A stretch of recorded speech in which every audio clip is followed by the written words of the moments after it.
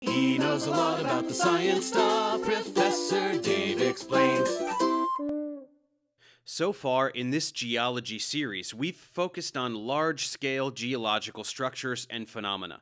But now it's time to zoom in and discuss what most people think of first when geology comes to mind rocks and minerals.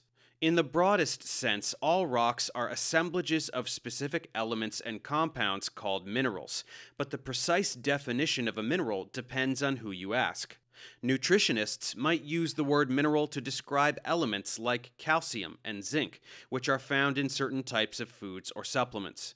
Biologists might define a mineral as any inorganic material present within a living organism. But how do geologists define minerals?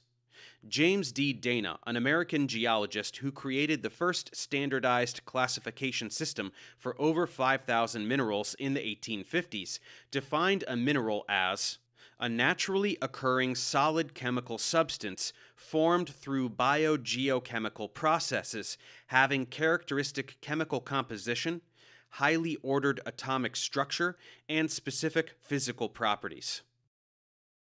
The International Mineralogical Association, or IMA, has built off of Dana's original definition and developed a stringent list of criteria for mineral status.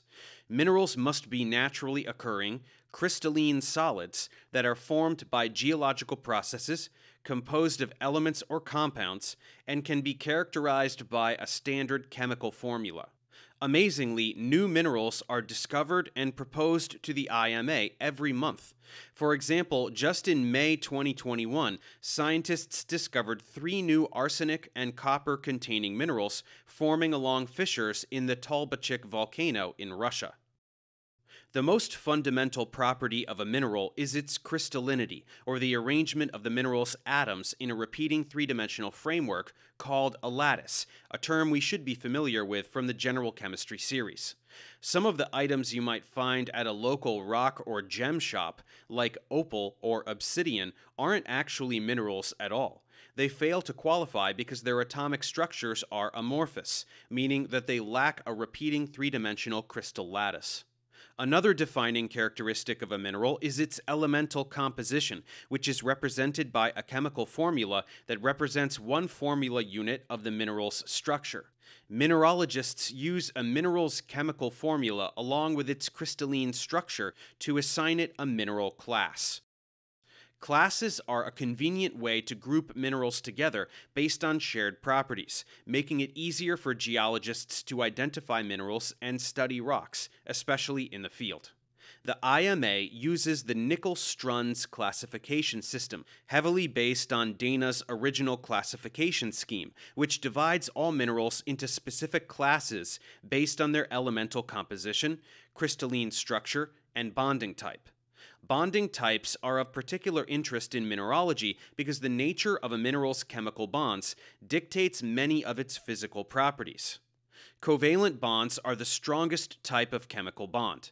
Minerals with predominantly covalent bonds are the hardest and most refractory minerals. Diamond, which is composed of linked carbon tetrahedra, is the prime example of a covalently bonded mineral. It is the hardest substance known and has a melting point of over 4,000 degrees Celsius. For a comparison, most rocks begin to melt somewhere between 700 and 1300 degrees Celsius. Ionic bonds are the second strongest type of chemical bond.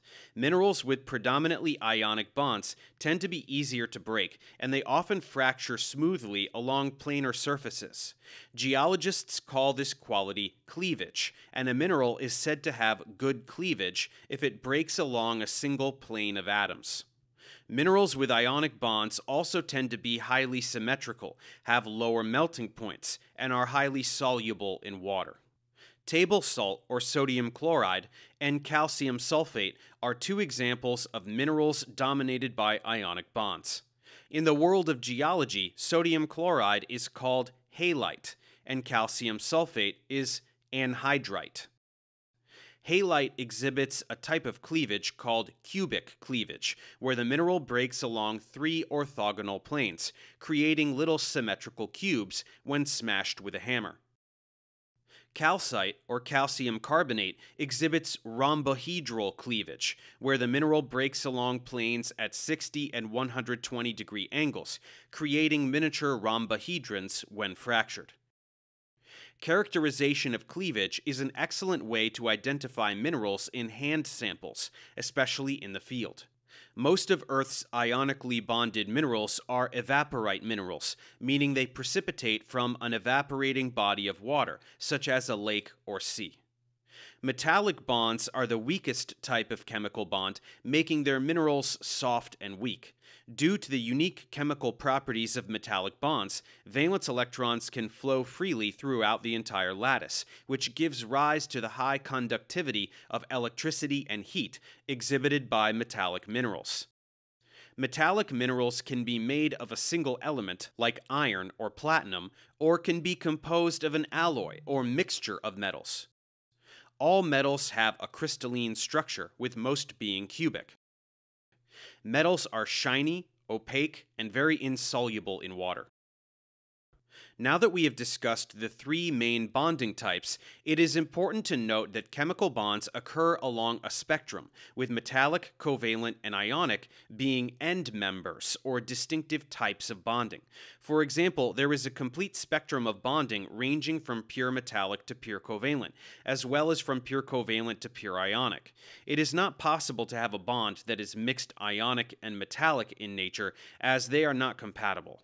Ionic bonds involve the creation of cations and anions by an exchange of electrons between atoms of contrasting electronegativity, whereas the bonding between metals involves free roaming valence electrons traveling between atoms of near identical electronegativity. They are essentially mutually exclusive.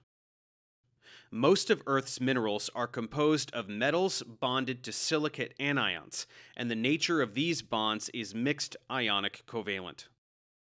So we now understand what a mineral is and know some details regarding their basic properties, such as crystallinity and the types of chemical bonding that are present in their lattice structure. In the next tutorial, we will continue to discuss how bonding and crystal structure affects the physical properties of minerals.